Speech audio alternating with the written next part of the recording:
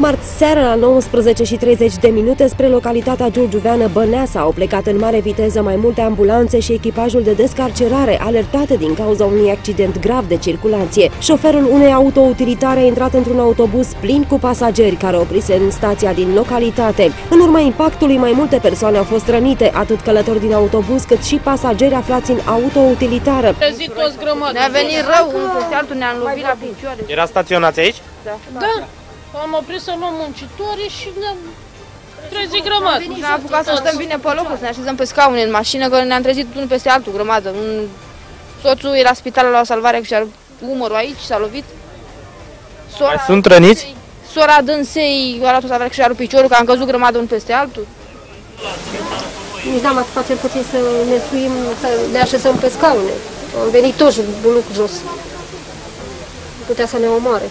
În total au fost 5 victime, două transportate de urgență la spital, iar trei care au primit îngrijiri la fața locului. Echipajele poliției rutiere care au efectuat cercetări au ajuns la primele concluzii. Șoferul autoutilitarei, un bucureștean de 33 de ani, a consumat băuturi alcoolice înainte de a se urca la volan, iar în urma testării cu aparatul Drager a rezultat o alcoolemie de 0,95 mg pe litru alcool pur în aerul respirat. Amețiți de aburii alcoolului, acesta nu a văzut autobuzul oprit și l-a lovit din plin.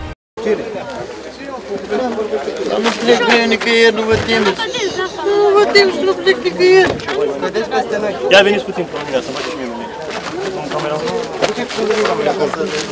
Chiar așa, bă. Măcar nici vierni.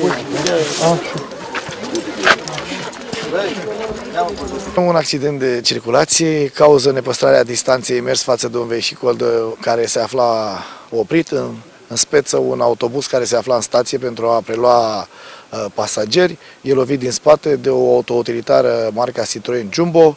Uh, din uh, impact rezultă rănirea a trei persoane din uh, Citroen și alte trei persoane din uh, autobuz. Cert este că e posibil ca cel de la Citroen uh, să nu fi fost atent în timpul deplasării, când se afla la volan. E posibil să fie, să fi avut uh, atenția atrasă în altă parte. Cert e că am înregistrat acest accident, vom face cercetări, în cauză se, se întocmește lucrare penală pentru vătămare corporală din culpă. Vedem acum starea de sănătate a victimelor care au fost transportate la Spitalul Județean Giurgiu. Șoferul vinovat are acum dosar penal pentru comiterea a două infracțiuni, vătămare corporală din culpă și conducerea pe drumurile publice a unui autovehicul, având o îmbimbare alcoolică de peste 0,80 grame pe litru alcool pur în sânge. În ceea ce privește victimele transportate la spital, acestea sunt în afara oricărui pericol.